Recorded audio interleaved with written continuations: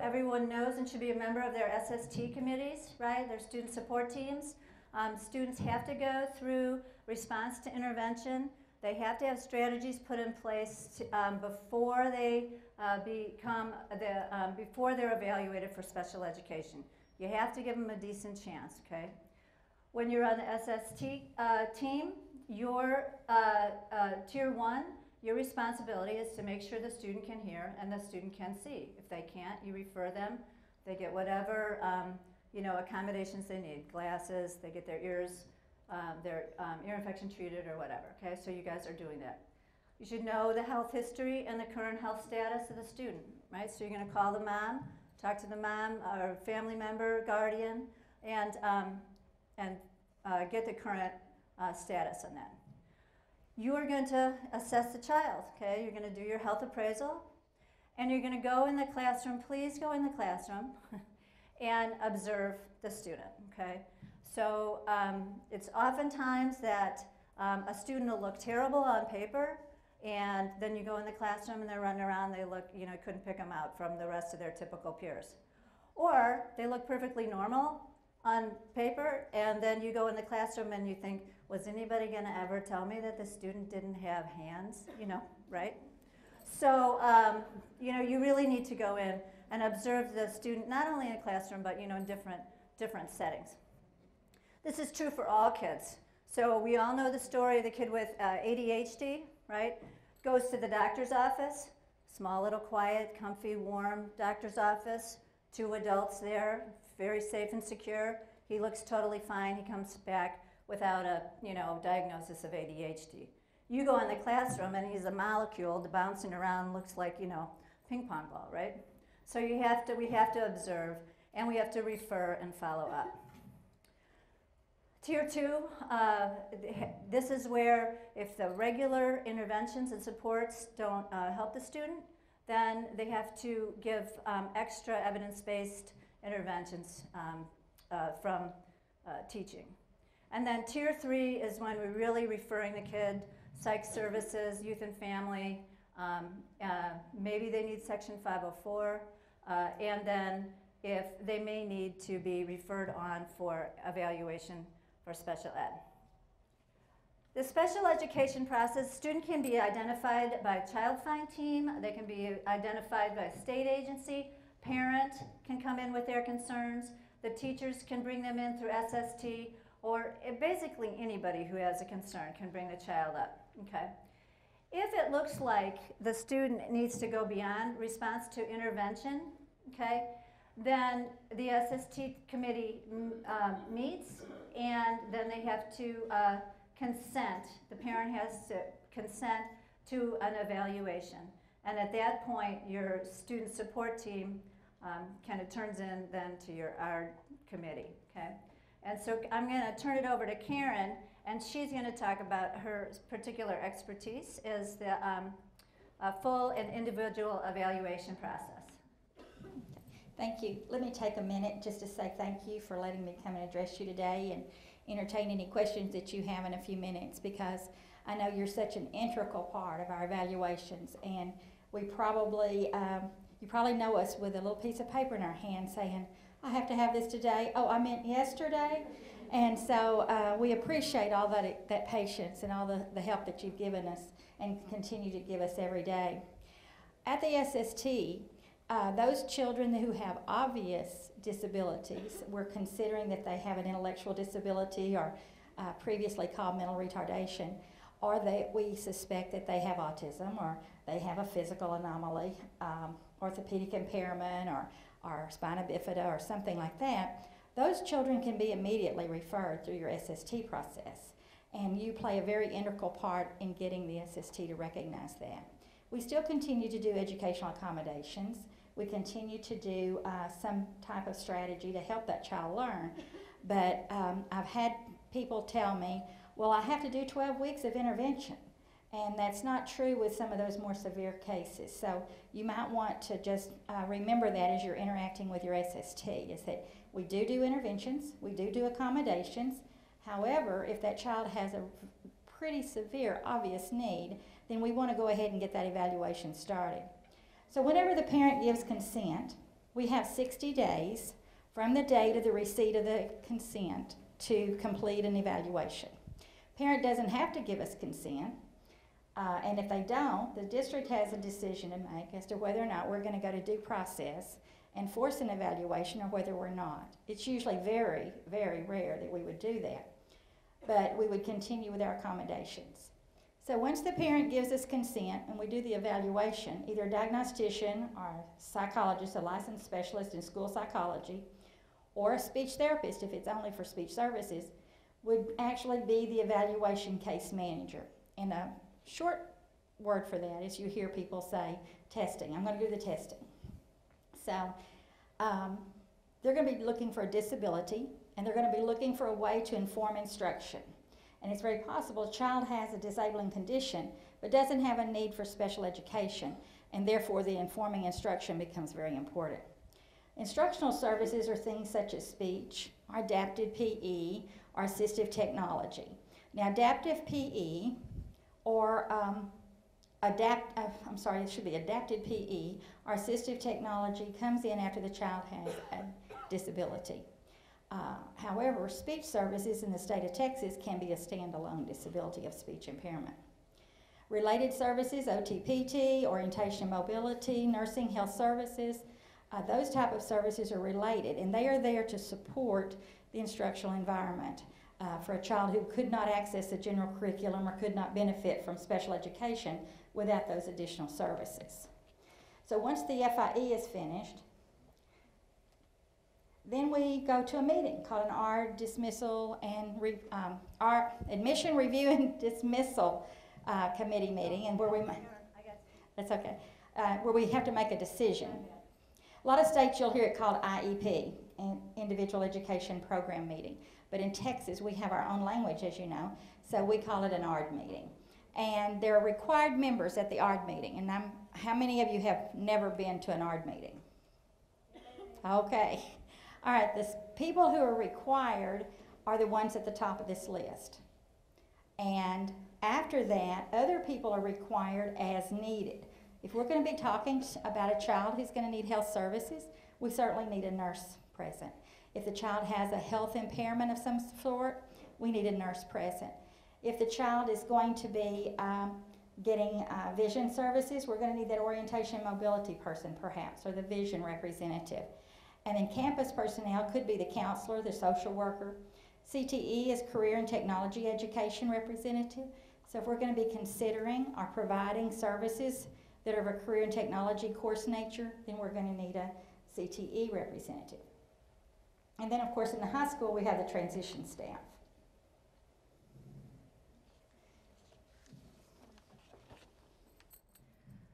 So the people who are doing the individual evaluations for the students are the professionals on the campus. What oftentimes is overlooked or missed uh, for whatever reason, and we want to improve this process, is that the nurse, as a professional, should contribute to that evaluation. And that's where your health history and status is really important, okay? So at this point, you need to make sure that you've interviewed the parent, that you've collected the proper information from the teaching staff, that you have reviewed the records, right, medical records that have come in or whatever referral information has come back, and that you go in and you do the classroom observation, okay? That health history and status you can do as a narrative, okay? And you can give it to your case manager, the person who's doing the evaluation, and they can attach it to the uh, FIE, part of the ARD document, as a professional report, okay? And that's very, very important because if a student is going to get health services, we need to make sure that the assessment for those services is, is, is attached to the ARD, okay? Let's see what the next slide is. Okay. When you go in and you look at the child in the um, classroom observation is when you would go in and, and look at the child in the classroom, you know, or on the playground or whatever. Okay. Um, if the ch- student has a significant health concern, you're going to do your individual health care plan. Okay. If the child needs an emergency care plan, then that should be part of the, of the um, evaluation, okay? That this student has significant needs is reflected in these two documents. And um, there is a way, you can either give it to um, your case manager in electronic uh, format, uh, email it to them, and, um, or you can take a hard copy with you to the ARD and they'll, they will attach it to the red folder, okay? Um, the uh, program that the evaluators are entering all this information for the student is the, called the Exceed program. And nurses do not have access to enter information into the Exceed. So we are dependent upon the kindness of your case manager, your evaluator, to help you with that, okay? Um, to make sure that you, the information is correctly entered, okay, before the okay? And we're gonna talk more about this. So uh, Karen and I discussed that the best way, I think, to make some of these points clear is to actually go through the ARD sequence and the documents and look at what those pages, um, what those screens look like where you would be expected to contribute information. Okay, and we hope that that's, that's helpful. So we're going to look at the um, present levels of academic uh, achievement and functional performance. It's another uh, correction I need to make. The schedule of services, we're going to talk more about the individual health plan, and we're going to talk about the committee minutes. Okay, um, I'm going to turn it over to Karen. Okay, before we get to this part, back in the FIE, for related service, every related service has to have an assessment. So if I'm going to need occupational therapy, the occupational therapist has done an assessment and written in the FIE. For school health services, as we've documented that child's needs, we've documented what am uh, getting in the way of his learning. And so part of that will become a related service assessment piece. And the diagnostician or the psychologist that's the evaluation case manager uh, may be coming to you and saying, how would, should we write this? How would you word this? Or maybe they'll write something and then you need to, you need to probably uh, be part of that review before that event is locked. Because when you get to the ARD, when we get to this part, the foundation of everything we do in special education is that FIE, that full and individual evaluation. So that's the foundation. The ARD is the programming, and that's that's the decision, the document, the agreement, the contract with the parent and the student of the services we're going to deliver. Most ARDs follow the same pattern. A good, well-run ARD is chaired by your uh, campus administrator, your district representative, and you have an agenda, and there should be an agenda on the table for the parents to see. We have agendas in English and in Spanish, and sometimes those agendas are adjusted depending upon how complex the ARD is. But the basic components are those that are on the screen. Um, it's good to introduce yourselves, everybody who knows what role they play. And procedural safeguards should have been provided prior to the ARD, but they could be provided in the beginning of the ARD. And then we usually talk about the evaluation and what other data we brought to the table today. So everybody has something they brought to the table, and based on that, a decision is made. Does that child have a disability? If he has a disability, does he need special education? And then we have to make a decision, does the ARD committee agree that he should receive special education? And by that time, you're about to the end of, I think, about page two in the ARD. And you're starting the big piece. And this is the foundation for the ARD, present levels of academic achievement and functional performance. And that drives the programming. And there's a set special section in the PLOF where the nurses can address and other people can address the gross motor, fine motor, and health needs of that child. From the PLOF, we, the ARD committee should say, based on these strengths and weaknesses that we talked about today, and the impact of his disability, what goals and objectives do we need to develop in order to make a program for him? What accommodations and what modifications in the state student expectations and the TEKS do we need to make in order to give him access to general curriculum? And then from that, we say, based on these objectives, what kind of services should he have? And that sends us then to the services page. The services page has your instructional accommodations, your instructional uh, classes. I need um, assistance in English and I need assistance in PE. I'm going to get uh, nursing services as a related service, and perhaps I'm going to get, uh, um, maybe I'm going to get deaf ed interpreting as a related service. And then you talk about what other services do we need to help him, and that's called supplementary aids and services. Maybe assistive technology devices, or um, parent training, or in-home training. And then we talk about the setting, and the setting is going to be general ed perhaps, it could be a centralized unit. And then we finally wrap that up, a little feedback here. We finally wrap that up with committee minutes and signatures. These are the disabilities. Multiple disabilities at the bottom is an indicator disability that states that the student has uh, two or more disabilities that are expected to be, uh, just in layman's terms, lifelong, that can be served by just one of those disabilities. You're going to be mostly involved, as you know, with the other health impaired, traumatic brain injury, and then, of course, your vision and your hearing children. Orthopedic, we seem to have fewer, uh, or I see fewer orthopedic impairment children today than I saw several years ago. You could be involved with all of these children because all of them could have some type of uh, medicine or some kind of seizure disorder or some other um, secondary need based on, just because I'm uh, learning disabled doesn't mean that I don't have a need to get medicine or need something else. Karen, can I make a comment about Uh-huh. this last slide, please? Uh, A very important thing, and it's often confusing for nurses, that like, I'll get a call and I'll say, how, how do I get an OHI for a student? Or um, uh, something like that. What, what does it mean if uh, the student has TBI? What do they get? The eligibility is just a qualifying label for special education services.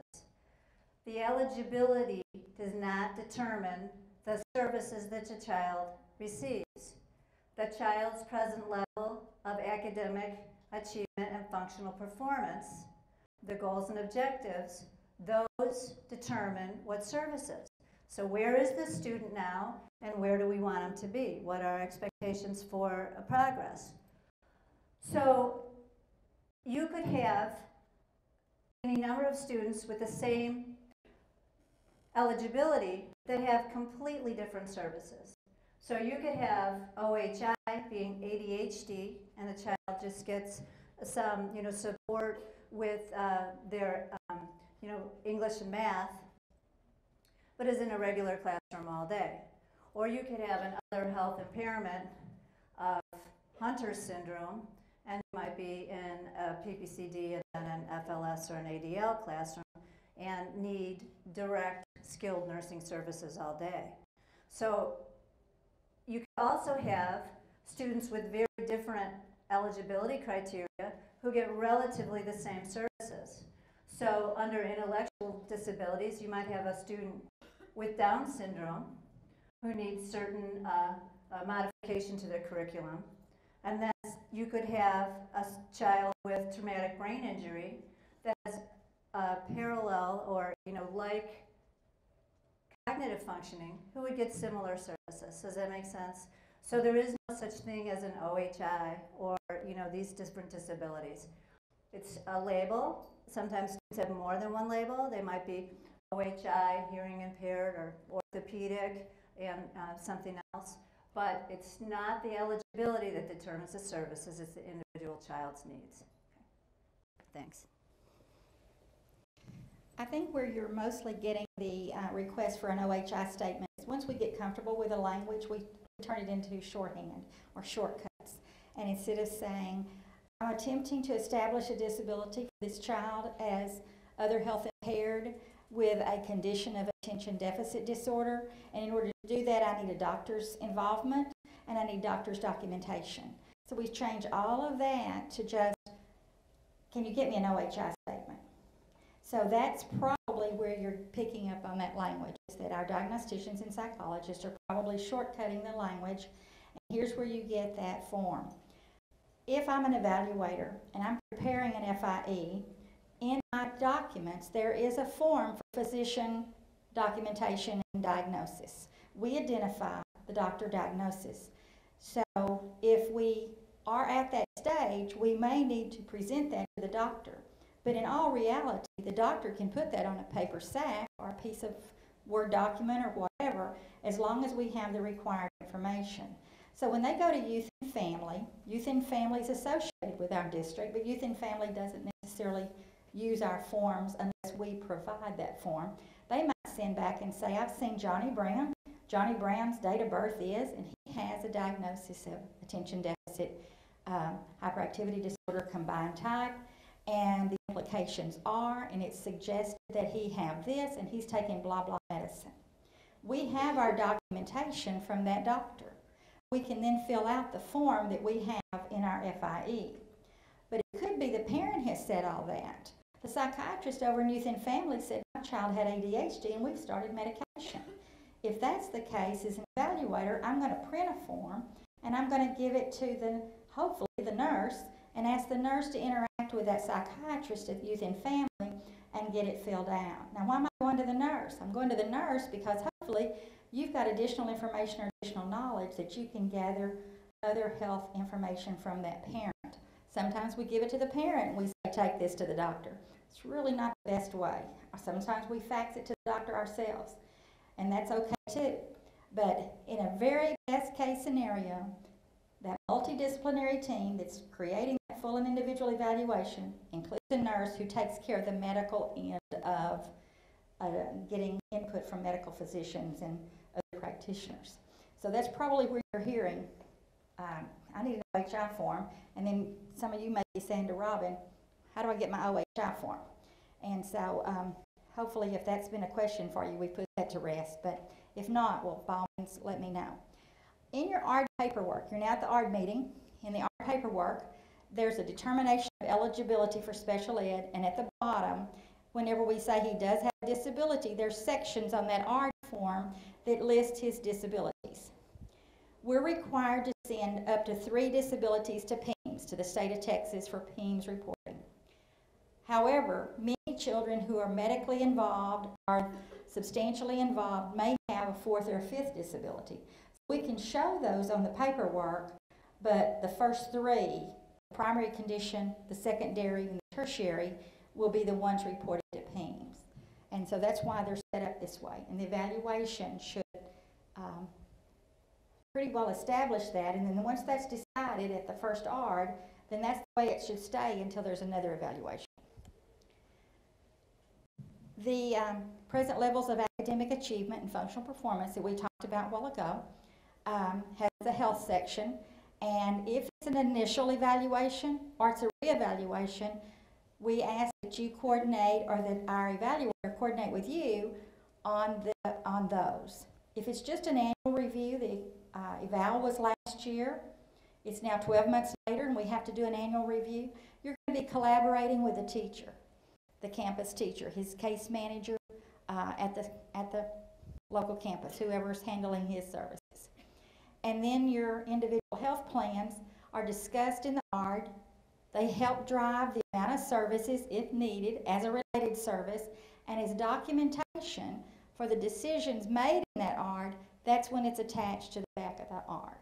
Now, I realize that doctor's orders change, IHPs change, but for that particular day, that's the document paper that said why we put 30 minutes of health services every day in. And this is what the health section looks like on the plot. In the new Exceed program, in the old Encore program that you may have seen, the forms, the blocks were uh, standard. They, were, they did not expand. However, in Exceed, the areas in which you will be writing uh, will, it, will expand. So if the OT needs to say something, and the PT needs to say something, and the adapted PE person needs to say something, and the nurse needs to say something, all of those spaces across there will expand in order to let everybody put in what they need to say. Up at the top, uh, the third box on the left-hand side, um, it says medication for, and there's a drop down there. And if there's not a condition that needs to be in the R for your planning, you can let SDMS, uh, formerly called Encore, know, and they can add it in a matter of a few minutes. And therefore, you can have all of your um, you know, appropriate reasons. If for some reason you need more than what will fit in that blank, then you have an other box that can be, can be filled in right under that. Goals and objectives for the uh, related service uh, will be sometimes embedded into instructional goals, but your individual health plan will always have your goals and objectives. If you need to send it to somebody to help you prepare for that ARD, be prepared for the ARD, you can send it electronically to your diagnostician, LSSP, or the student's teacher, case manager. And then the hard copy is what's attached. For the goals and objectives um, section, I've, I've learned so much from working on this with Karen, and, and every time you do one, you know, and go to an ARD and work on a new, um, uh, uh, prepare for uh, a new ARD meeting for a student, you're always going to learn something. It's always different. There's so many steps in it. What I learned from Karen uh, in, in preparation for this talk is that the goals and objectives, when you put those in specifically, um, the teachers, uh, that's how they report the progress of the student according to their, uh, um, uh, let me say this, the goals and objectives are reported back to the student's progress according to those goals and um, objectives are reported at regular intervals to the parents, okay? So we aren't prepared as nurses right now to put standalone goals and objectives into the, um, ARD document because we don't have a system by which we are going to be reporting back to each one of these families every six weeks about how the student is uh, making measurable progress to those goals. And so what we're going to do instead is we're going to attach our IHP. And when you think about your IHP and the nursing process, they have all those same um, components as the goals and objectives and the present levels of performance. So this is where the student is. These are the outcomes that we're identifying. And this is what we're going to do to make sure that those students you know, works towards those goals. And then we're always going to go back and evaluate. Okay. So your IHP has assessment data uh, that you collected on your student. It's got your nursing diagnosis, you know. Um, it has goals and object your goals, your interventions, and your evaluations. Where the IAP has kind of parallel things, and some of these you're going to contribute to, but the goals and objectives specifically are going to be covered by your goals in your IHP, okay? Because it would be terribly difficult for us to measure some of our individual health plan goals and have a reporting system back to the parents about that. And so you probably appreciate that. Okay. So just, um, and by the way, I should have said at the beginning that we are going to um, uh, electronically send everybody a copy of the PowerPoint. So we uh, recognize that you're not going to be able to read all these slides, but you'll have a copy that you can save um, to your um, computer or print out from uh, your campus. Okay. So here again, you have your assessment data. Okay, that's your present level of, of performance.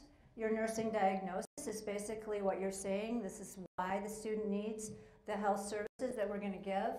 You have your goals. You have your interventions. This is exactly what we want uh, to do for the student. And then we have ARD outcomes. Okay, those are your objectives. So they're very, very parallel. And this is why it's important to have an IHP prepared for um, the, uh, our document. Good language for both your IHPs and for the information that you want to contribute to the ARD should be student-centered. Okay?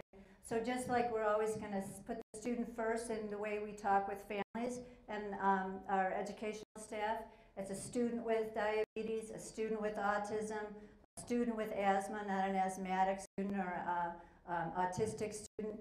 You want to put the student first, okay? Because this is the student's educational, individual educational plan. It's not your plan, it's the student's plan.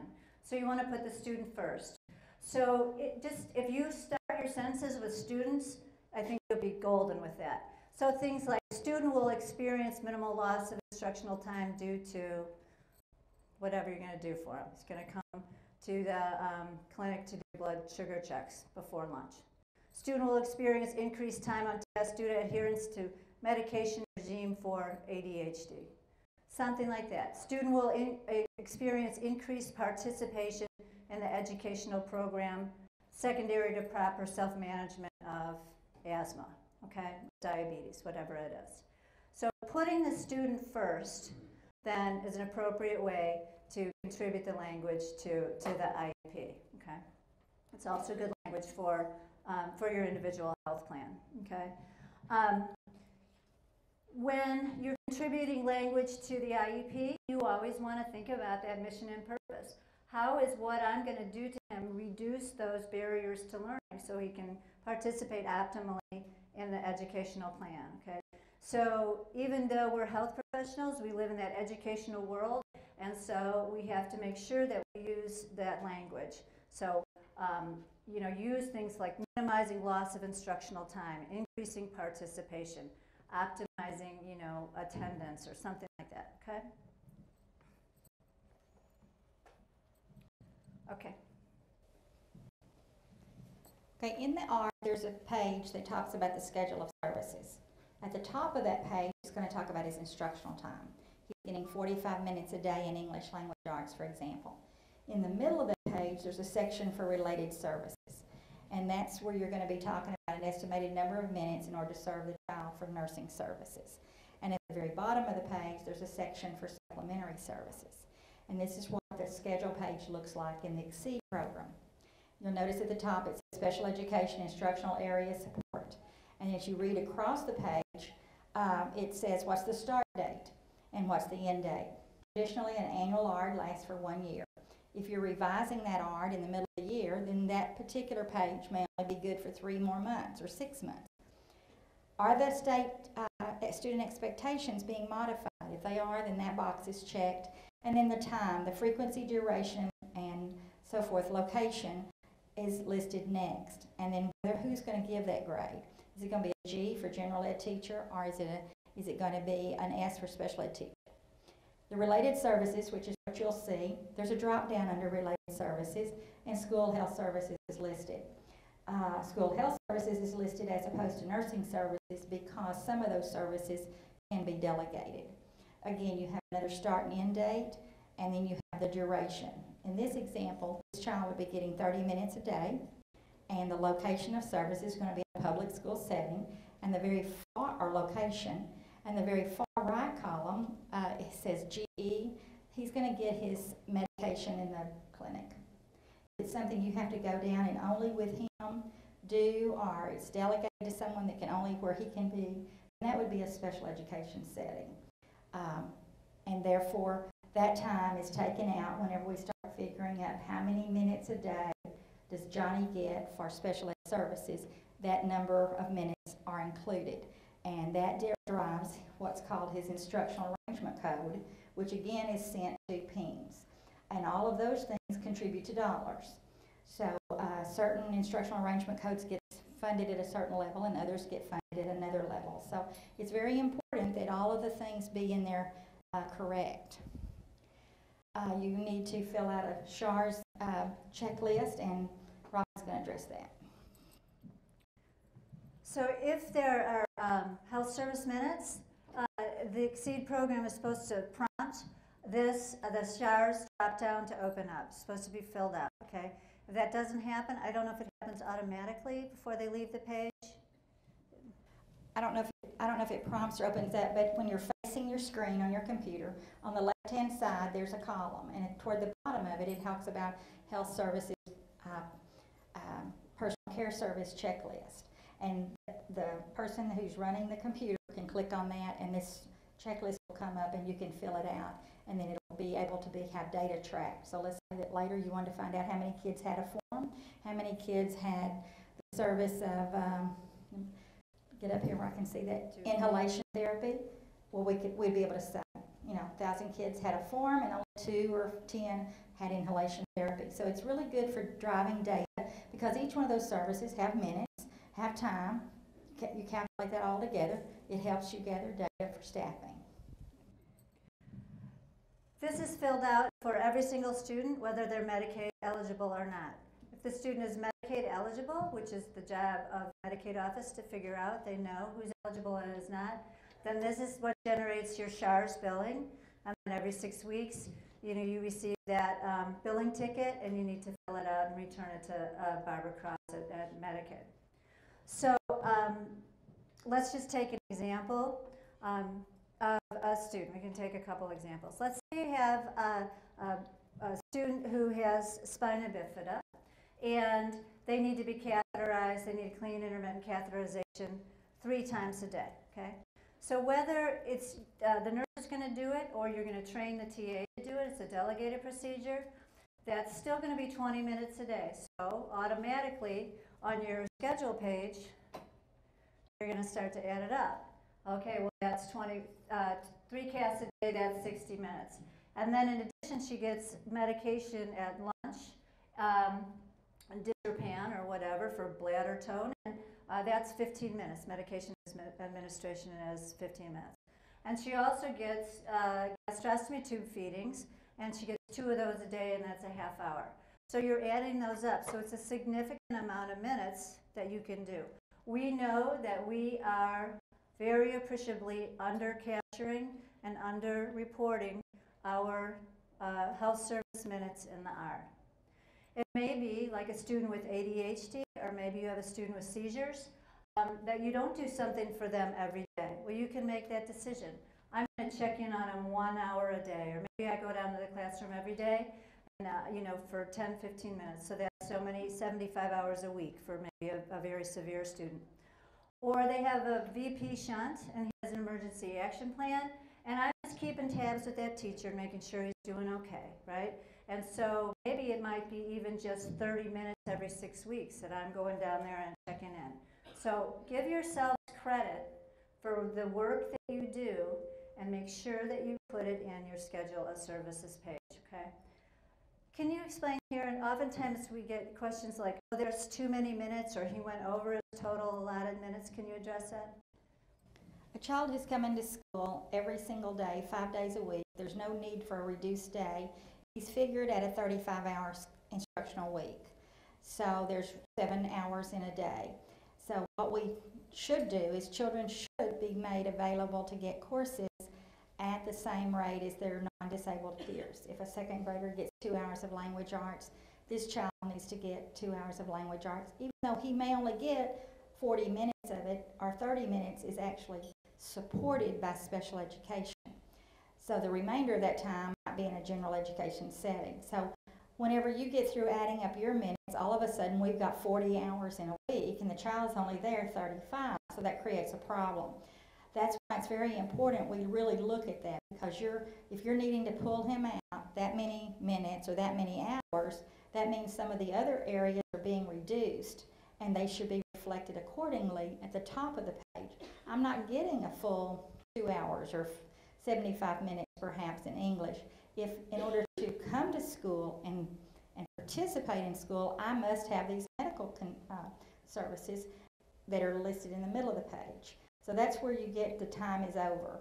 And so the case manager and the ARD committee, as they develop this, they'll say, in order to implement this language arts goal, how many minutes of support do we need? That's what drives the minutes at the top. In order to perform his health care needs, how many minutes do we need? And that's what drives the minutes in the middle of the page. So your minutes should not be reduced just to make it balanced. Your minutes should be there what you really need.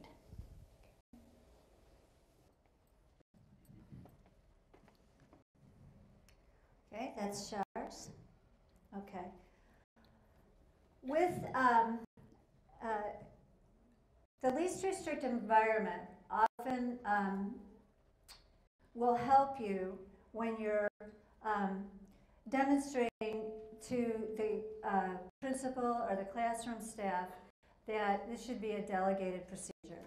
Because what would happen is if my kiddo that was spina bifida actually has 135 minutes a day of health services and has to go to the nurse's office for all those services. So your principal says, um, well, let's just take it from the beginning. What if your principal says, no, I'm sorry, we, we can't do that for that kid? Well, then you say, well, really, it's a violation of their civil rights because according to free and appropriate public education, we need to do those services.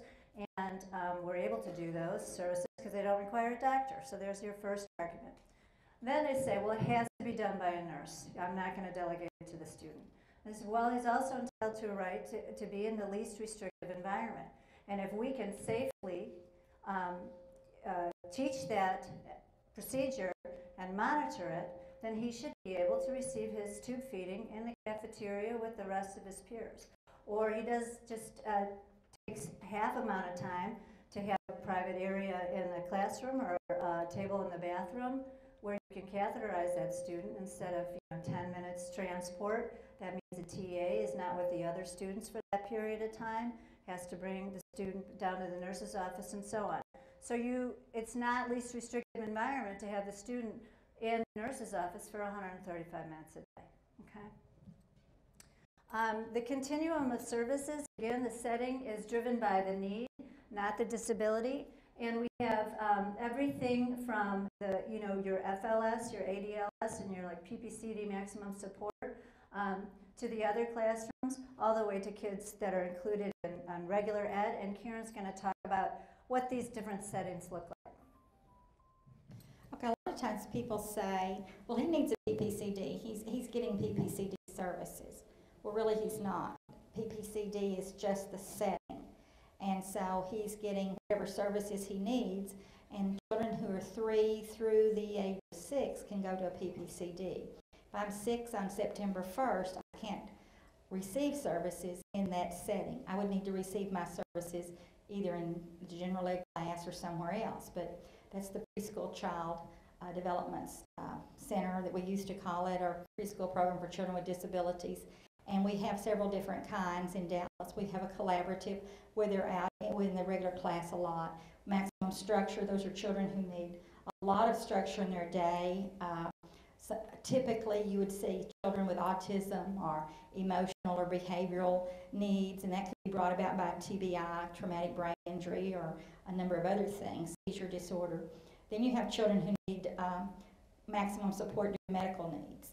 And so uh, it might not be safe for them to be in classroom with other children that are running around. And so we have to balance the need for inclusion in a least restrictive environment based on also the health condition. So again, the disability doesn't drive it. If he needs services that can only be delivered in this location based on his needs, the law allows us to consolidate some of those services because it's not financially feasible to provide that level of care at every single campus.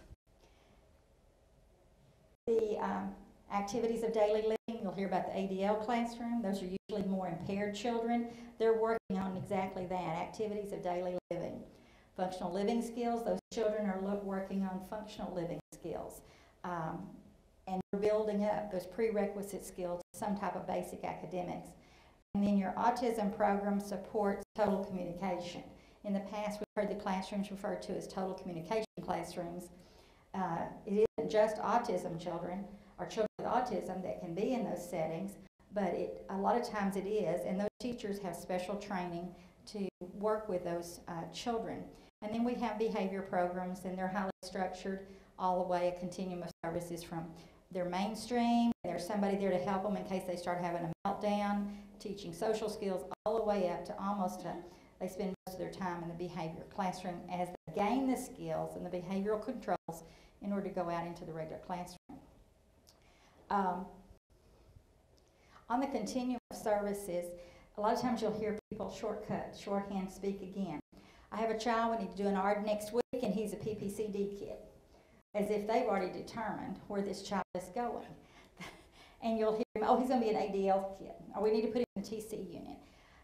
We, uh, on my side of the understand what we're saying. We're really not saying we've predetermined. We're saying that based on the evaluation data that I've looked at and my experience with working with a large group of children, most of the time, the needs that I've developed in this FIE suggest that this would be the kind of services, the level of services he might need, and that's what I'm going to recommend to the ARD committee.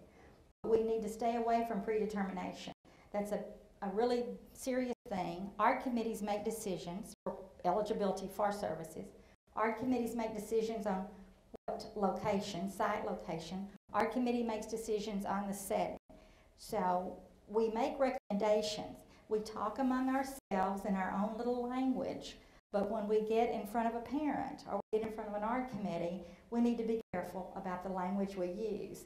And we need to talk about, you know, little Johnny is quite active. He's four years old and he's going to need more intensive supervision in a highly language rich environment. Also needs some exposure to uh, normally developing peers. Therefore, I'm suggesting that perhaps we need a little bit more intensive structure part of the day. He could be with other four-year-olds in the pre-K class the rest of the day. When I'm talking to my peer or I'm talking to you, I might say, we've got a little PPCD ARD that's coming up next week. But I'm, I'm really not predetermining, that's just my perception. That's just a, that, that goes back to the disability. A lot of times you'll hear people say, well, that's where our AI kids go. Well, that's where the children who have auditory impairments who need that level of service would most likely receive their services. But just because I have an auditory impairment or just because I have a vision impairment doesn't mean I must go there if my needs can be met somewhere else. And I think that's very important.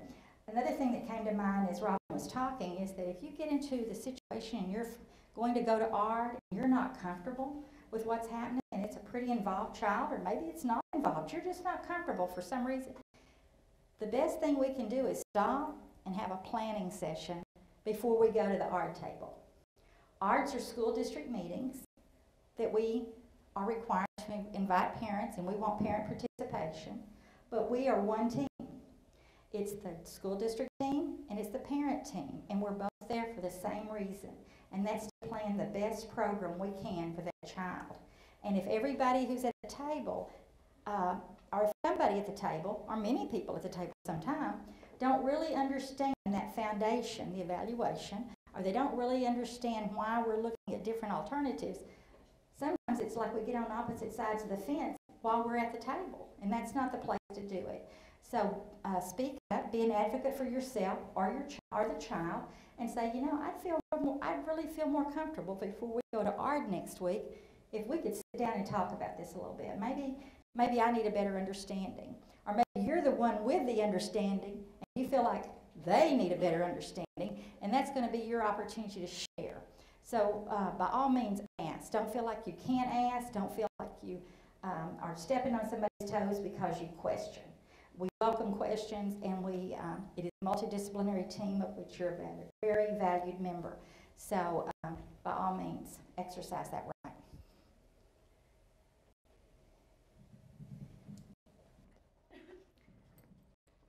One of the most important places that the nurse contributes to uh, the ARD document, and this is required, is in the committee minutes.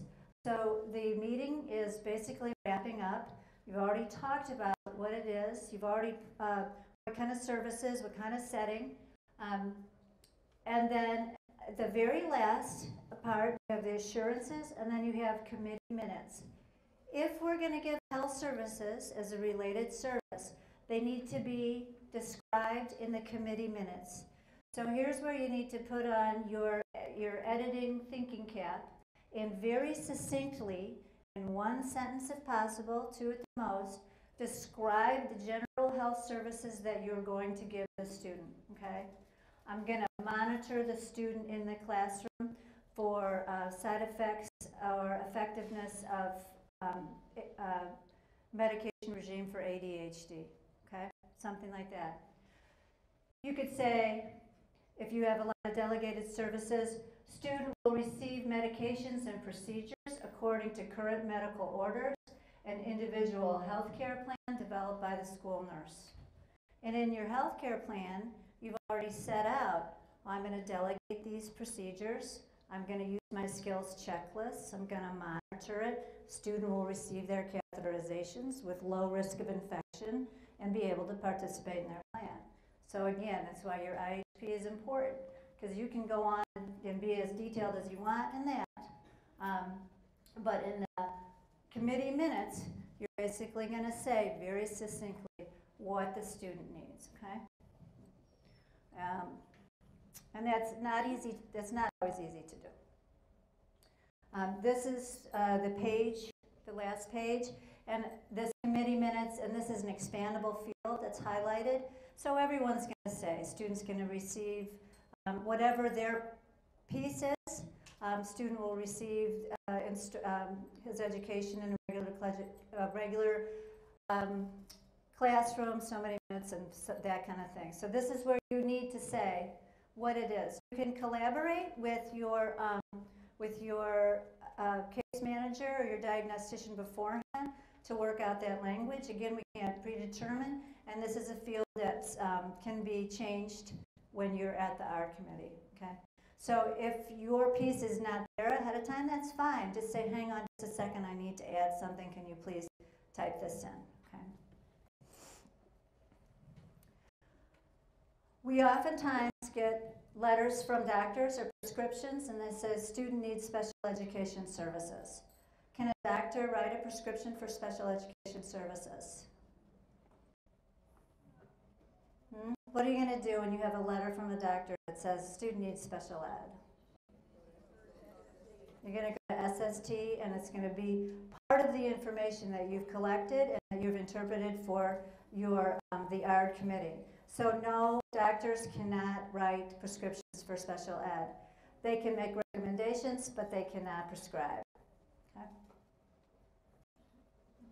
We had last year a case um, in uh, high school to be unnamed where we had um, a chiropractor writing um, prescription for a student to get um, special ed services.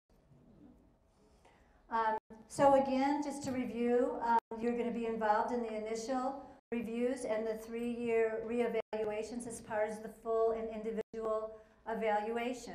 Then the annual review, anything that needs to be changed, a copy of the IHP or the ECP can be attached. Um, you uh, may uh, contribute vision and hearing. And by the way, vision and hearing, thanks to uh, Health Office, is now automatically interfaced into the Exceed program through um, they, they connect. So if uh, someone comes to you, the case manager says, I need you to fill out this vision and hearing form, that's no longer necessary. You know, do it, please don't do it because it's a practice um, it's, it's just not necessary. It's a double step because that information is in the Exceed program. Sit down with your partner, with your um, case managers, and um, look at what's in there. There's a lot of health information along with the grades and everything um, else that's tracked for the student in Exceed. The teachers can see uh, how many times they visited the health office, whether the student has an IHP, and those kind of things.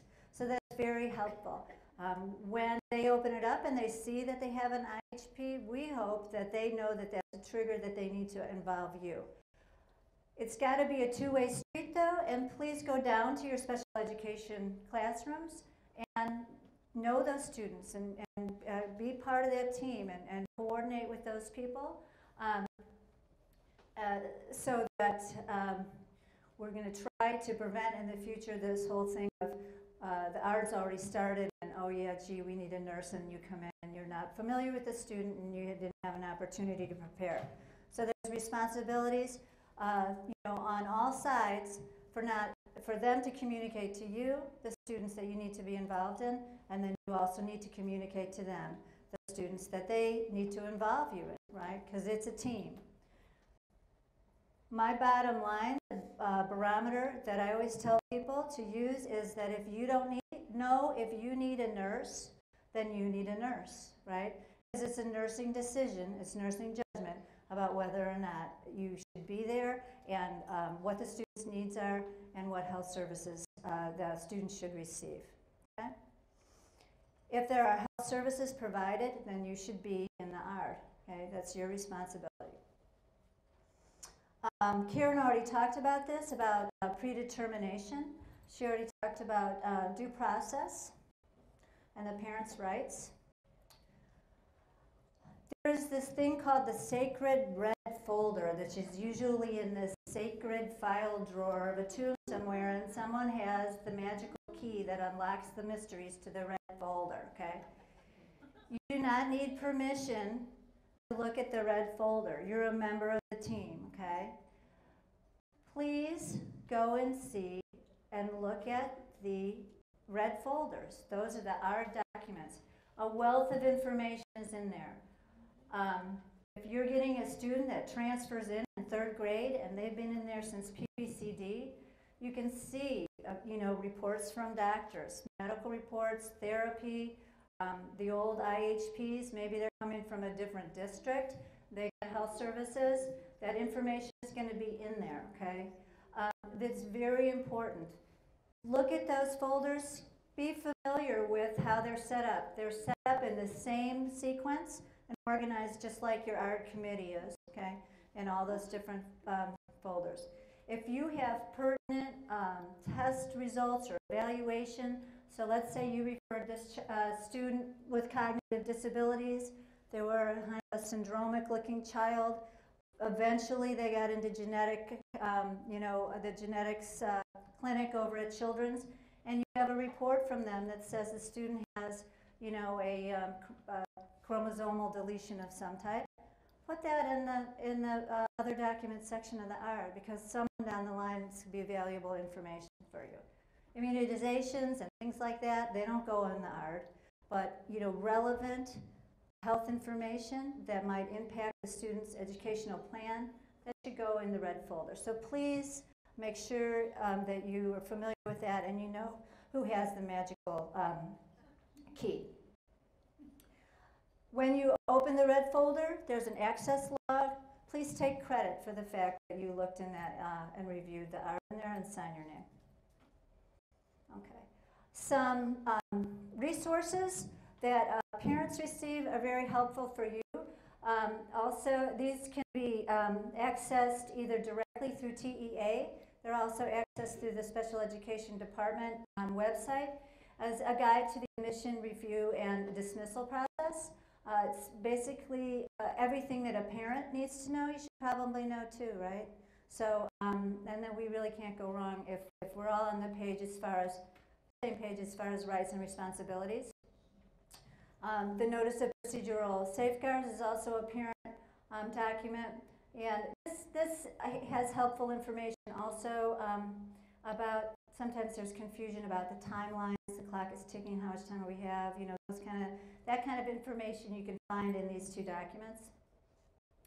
Um, and anything else you want to say about the, the ARD process or the nurse? Okay. Okay, I want to go back and visit just a second back here about the vision and hearing. Exceed does provide us access to things we didn't have before. Oh, I don't have a full, I don't have a, um, No, it's right here.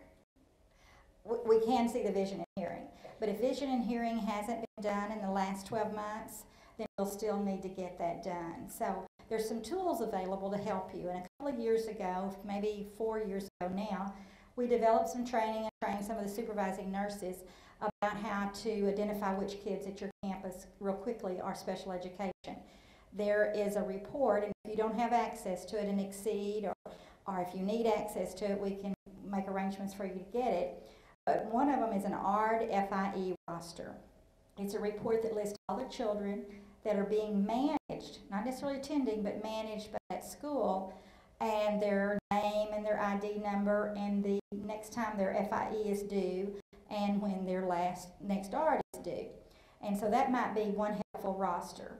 The second tool that might be helpful is there's a report called an evaluation projection report. We use it to pull up all the kids that are due between two designated time frames. Right now I'm going to be looking for all children that are doing evaluation through September 30th of 2013. So if you were wanting to see who at my campus is coming up for evaluation, in the next three months, you could say to your diagnostician, could you run that report for me? Could you share? And if you have the ability to do it, you could sign in to exceed and do it for yourself. And that way you could go in and spot check. Do I have a vision and hearing in here? And if I don't, then get it done. When I was a diagnostician, I used to try to give my nurse things in the spring that were due in the fall. And I'd give things in the fall that were going to be due the next spring so that we weren't on this magic uh, rush rush, except for the kids who transferred in from somewhere else. But that is something that uh, we can get the vision and hearing from Exceed, and we can use it from Exceed, provided it's within the last 12 months. Um, If we need a health history though, whatever the reason is, it's an initial referral and we need a health history, then there still may need to be a form. But if it's an initial referral, that really should have come through the SST. As the nurse contributor on that SST team, what would be good is to have attempted to either work with a general ed teacher and find out what that health history was. The first time you bring mom up for a meeting and say, you know, Johnny's not really progressing and we're going to start some new interventions and here's some things we're going to collect on him, that might be a good time to say, do you mind if I get some more information? Is there, could there be any health related issues that's interfering? Gather that data then. And one another reason is because it's real difficult to say that that general ed teacher has chosen the right interventions if she doesn't know that he fell out of bed at two years old and has a had a head injury. She doesn't know he had high fever at four years old. She doesn't know that he, whatever he's done, that didn't leave necessarily any visible signs, but they're strong indicators that that child's going to have difficulty learning, either at the same rate or at the same level, and may need additional supports. So that very first intervention time would be a real good time to get that health history. And so that's all. That's what I wanted to say about the vision and hearing and the uh, what's available in Exceed.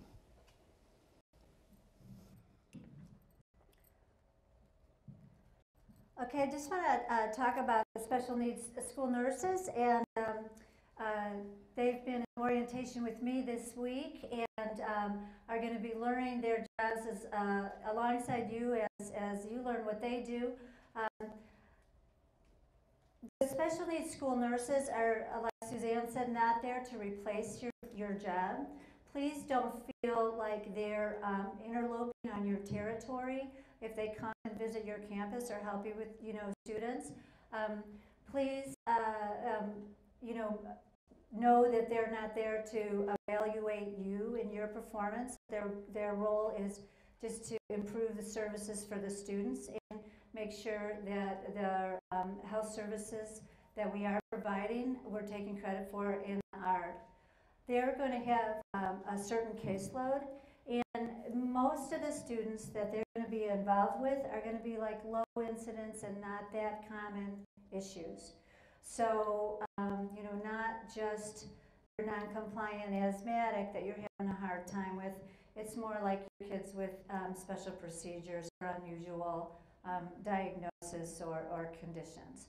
Um, so um, uh, we will develop, you know, a certain expertise because they will be going to a lot of ARDs and have, you know, specialized training with special education on that. So you can uh, certainly ask them um, questions and call them. Um, but it's not their job to go to um, your ARDs that you can't attend. Very important that if you don't have a full-time assignment, that you communicate your schedule with your SST and your ARD committee and that they meet um, on the days that you're there. Um, so they're there to support the students and families um, and you as school nurses and the teaching staff to meet those health and safety needs and reduce those health barriers to learning. So that's my broken record about that. Um, the chain of responsibility for these kids, you as the campus nurse, you still own all the students on your campus. So you're still responsible for their daily, you know, general health and safety needs, okay? Always notify your supervisor or communicate with your supervisor first, okay? That is always and invariably your first chain of command when you need um, help with a, a student, any student. For specialized student and students with complex medical needs, then they will communicate with a special needs school nurse and then they'll start to work with you. Once you start working with them, then you don't need to call the supervisor first, but you all need to be in the loop um, for those special issue kids. Um, one of the things that we're most excited about with the special needs school nurses is that we are going to be interfacing with ChildFind. So I'm sure many of you have had this experience where all of a sudden off pops off the bus pops a kid and he's got, you know, a G-tube or he's got a trach, or he's got an umbilical urostomy, and you're like, hey, surprise. ChildFind teams used to have nurses interfacing with them. For whatever reason, historically, that service and that, that interfacing um, kind of has been minimized over the last few years. All the nurses honestly were campus-based and we didn't have extra personnel. Now we have the nurses, uh, special needs nurses, who are going to be part of the child find evaluations from the get-go with students with complex medical needs. Our goal is to have a lot of the initial work for the ARD because these placement ARDs happen before you even know that the student's enrolled on your campus, right? You find out, we've got a new student, they're coming. The ARDs already happened. So our special needs school nurses are going to be doing the health history and status with the family for children who may qualify through special ed through Child Find. They're going to be helping to develop the IHP. So let's say we got a little three-year-old kiddo who's coming in with Paget's disease. They're going to need a lot of specialized services. There's a lot of specialized information that needs to be passed along about those children, um, and then the care that they require. Your special needs school nurse, who's interfaced with that child find team, is going to help to prepare that IHP, so that's going to be ready. Okay. We're going to attend the ARDs, um, and we're going to put in the health service minutes. Okay. So we're going to try to do all that stuff beforehand. Okay. Um, just like if you would consider that child find team kind of an SST committee, that preliminary work that each child needs, those school nurses are, uh, the special needs nurses are going to do. So we're hoping that this prevents a lot of problems where we have kids on the first day of school or their first day of enrollment who are showing up and we have to send them home because we don't have doctor's orders or, um, you know, a plan for them or trained delegated staff and that kind of stuff. So I'm really, really, really excited about that. Um, I think that'll be great. For uh, special uh, procedures and skills, um, let's face it, we, no matter uh, what background we come from and very, very, um, very varied and interesting backgrounds we all come through, we all haven't taken care of every single thing um, that uh, is out there. Or you may have taken care of it and it was, you know, when you were a caveman just like me, you know, it's 30 years ago and they do things very different now. So for those very unusual things or something that you haven't dealt with, the special needs nurses will be there to help support with that procedure training and making sure everyone's comfortable with the care of the child. And then, of course, um, like I said, assisting with the ARD processes. So we really want to say, uh, thank Suzanne for her vision and her leadership, um, pulling out of um, some magic hats. we don't know how she does it. You know, the funding for new um, positions in an environment where budgets are so tight, and, and we just thank her very much for that. Um, so I think we're going to uh, answer some questions. I'm sure you guys have questions. Um, uh, so fire away. Anybody have a question? Yes. So when will we be notified that a child find student is coming to our campus? Well, you, you should be notified when the placement is made. So oftentimes, particularly like Karen said, with the settings, a child may live at this certain address, but their, their home school doesn't have a PPCD maximum support classroom, so they might have to be um, transported to, you know, another classroom, uh, you know, closer to you. So as soon as we know where they're going to go, we're going to make every effort to, um, to uh, make sure that you know that. The special needs nurses are also going to document in health office, just like you all document in health office. The health history should be in your health office, the IHP should be there. They're going to document when they went to the ARDs, just like you do. They're going to document, you know, when they've received doctor's orders, just like you do.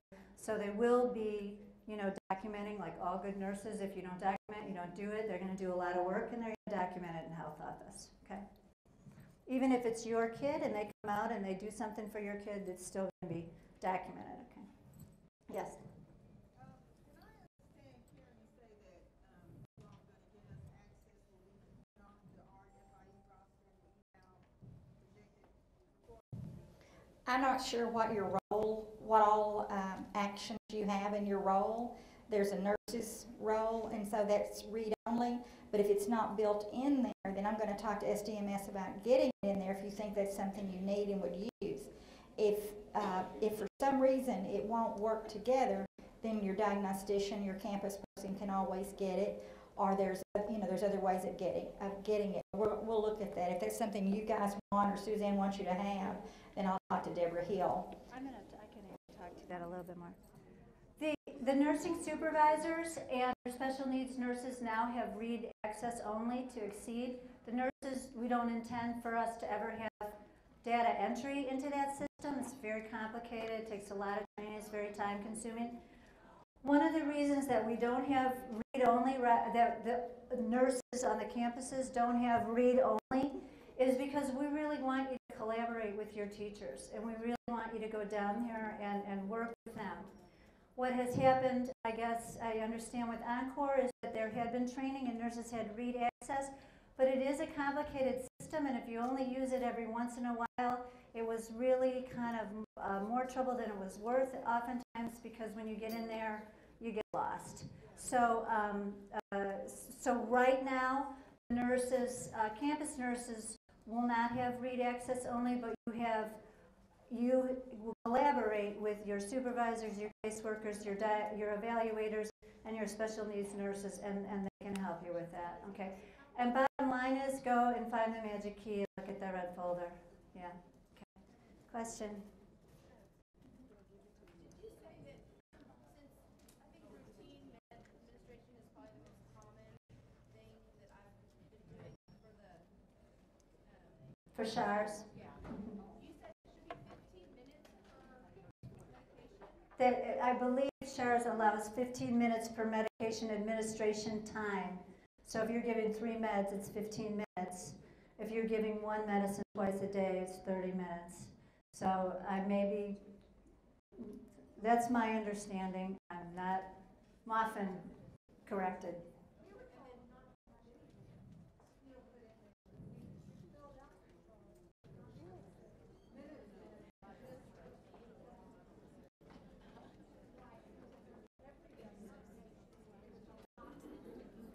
PRN medications are difficult to put in SHARS, but if it's an everyday medication and that, that's a related service and your student has an IEP, then you can take credit for that. Mhm. Roscoe, you know, Roscoe always gives his little, Roscoe Lewis gives his presentation every year, so that's a question we can ask him. But no, you can, you can do that. Yes? I think that there's a confusion between the um, schedule page and the SHARS too. When you have, the question is that there's some confusion between the schedule page and the scheduled minutes for health services and the SHARS dropdown. If you have services that are scheduled in terms of minutes on the service page, so let's say I have a G-tube feeding, it's twice a day, it takes me a half hour. That's gonna be 60 minutes a day.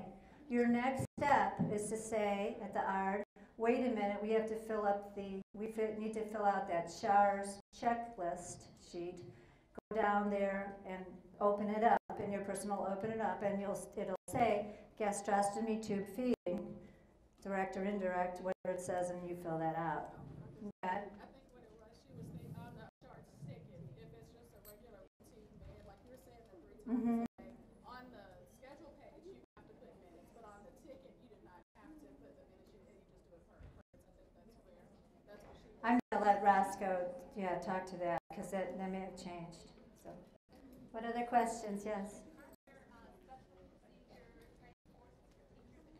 Yes, um, the special procedures, um, if you need a special procedures training like right away, um, that you have a kid showing up before the scheduled ones, please call your supervisor, and either they or your, the special needs school nurse for your division can come out and help with that. Remember that parents should always demonstrate procedures, you know, at the beginning of the year, so that's a double check, so that you know that they're doing it correctly and they can be comfortable that you're doing it correctly. But there will be gastrostomy tube training through Scottish Rite and trach training through um, uh, Children's uh, Hospital. Again, this fall, and dates will be announced um, through the bulletin, I imagine, or through an email.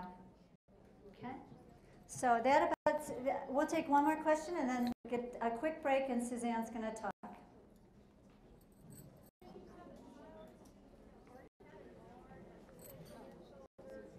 Tina, I can't hear you. Can you stand up, please?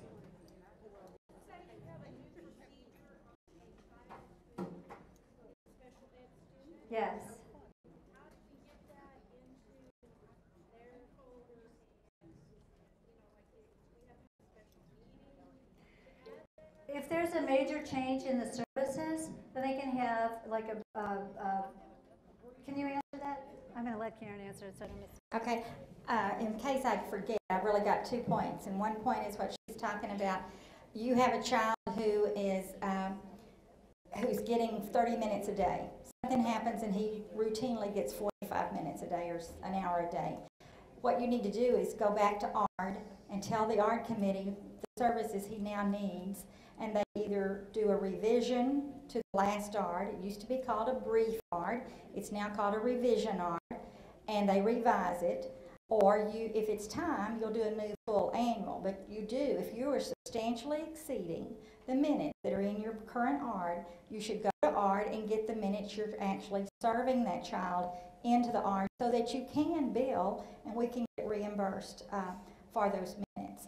And the second thing that, I'm getting old, so I often forget, but the second point I wanted to talk about was if you have somebody show up and the kid's being served, excuse me, the student is being served as a child with, uh, let's say, a uh, orthopedic impairment, and so he's already getting some kind of services from you.